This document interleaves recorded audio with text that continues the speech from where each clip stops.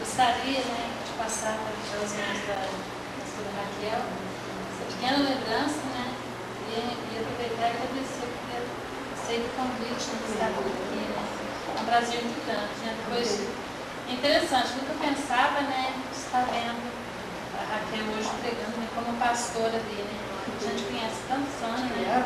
É, desde criança, né? E é um prazer Glória a Deus.